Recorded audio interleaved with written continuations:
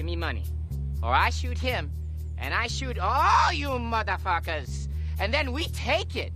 Your choice, bitches. Whoa! Damn, man, look at that, look! Whew. That's messed up.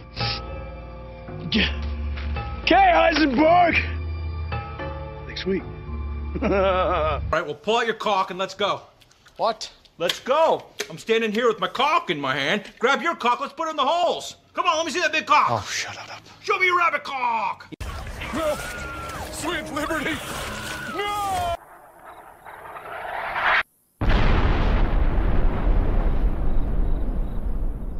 tried. I tried.